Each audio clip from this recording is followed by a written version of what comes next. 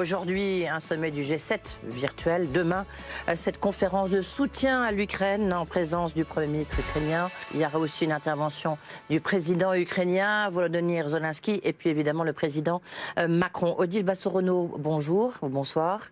Merci d'être avec nous. Vous êtes la présidente de la BERD, la Banque européenne de reconstruction et de développement.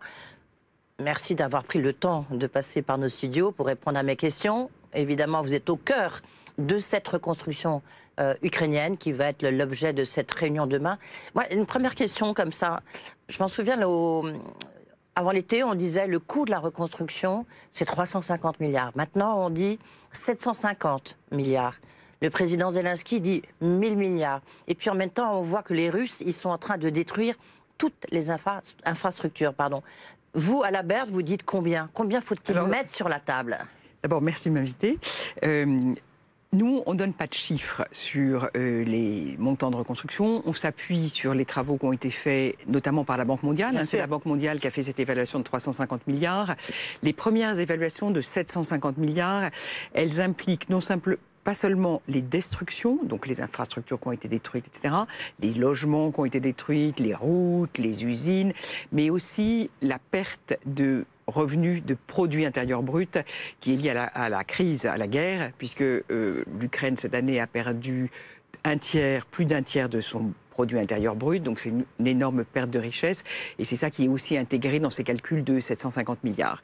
Mais comme vous le dites, tous ces toutes ces évaluations sont extrêmement évolutives. En fait, elles visent plus à donner un ordre de grandeur, une sorte de quantum, plutôt qu'à mesurer très précisément, parce que les choses sur le terrain bougent tous les jours, et effectivement, le niveau de destruction augmente euh, très, très, tous les jours, du fait notamment de la nouvelle stratégie russe de bombardement des infrastructures.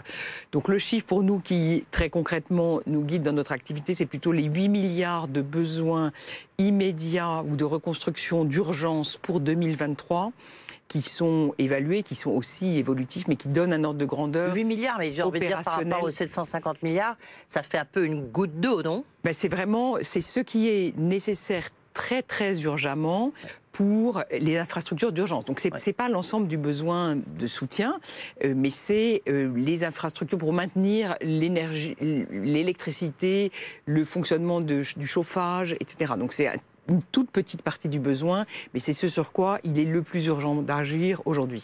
Oui, euh, parce que à la différence de la conférence de Lugano, Bernard, il y, a, eu trois conférences comme ça, c'est la quatrième. Donc c'est que là, on est dans une stratégie de guerre de la part des Russes de destruction justement de ces infrastructures, des hôpitaux, l'électricité. Et c'est ça que vous allez prendre en compte demain. Oui, exactement. Alors, la, conférence de, il y a une conférence cet été, par exemple, à Lugano, qui était plus sur comment on s'organise pour la reconstruction le jour où la guerre sera finie.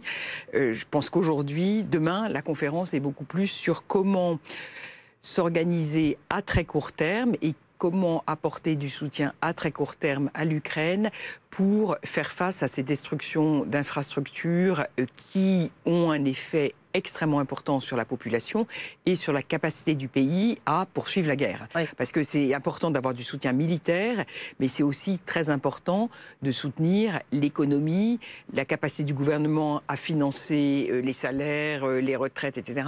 Et puis la capacité des grandes infrastructures à fonctionner, électricité, chauffage, moyens de transport. justement, j'avais dire quelles sont les urgences, les urgences notamment de la BERD, parce que c'est euh, vous, vous êtes en première ligne.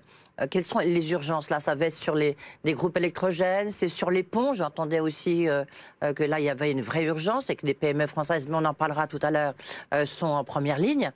quelles sont les urgences pour vous? Enfin, bah, pas pour vous, pour les Ukrainiens.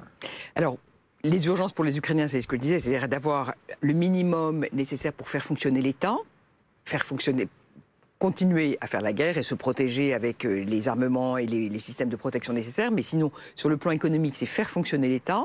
Et donc ça, c'est le soutien budgétaire. Et les Américains et l'Union européenne se sont mis d'accord sur sécuriser, donner de la visibilité sur l'aide budgétaire à l'État.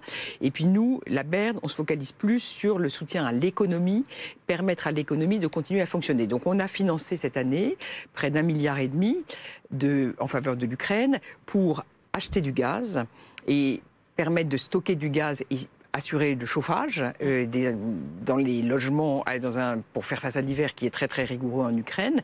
Donc on a financé 700 millions d'euros 500 sous forme de prêts, 200 millions de dons de la Norvège pour financer le gaz.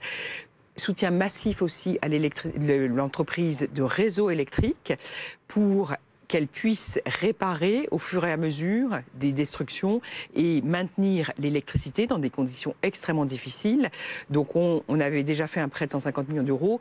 Demain, on va signer un prêt de 300 millions d'euros qu'on a décidé en quelques semaines qui pour assurer, euh, donner à l'entreprise de réseau l'équivalent de RTE en France, les moyens de d'acheter des générateurs, d'acheter les pièces détachées pour réparer, etc., en fonction des destructions qui se font euh, tous les jours.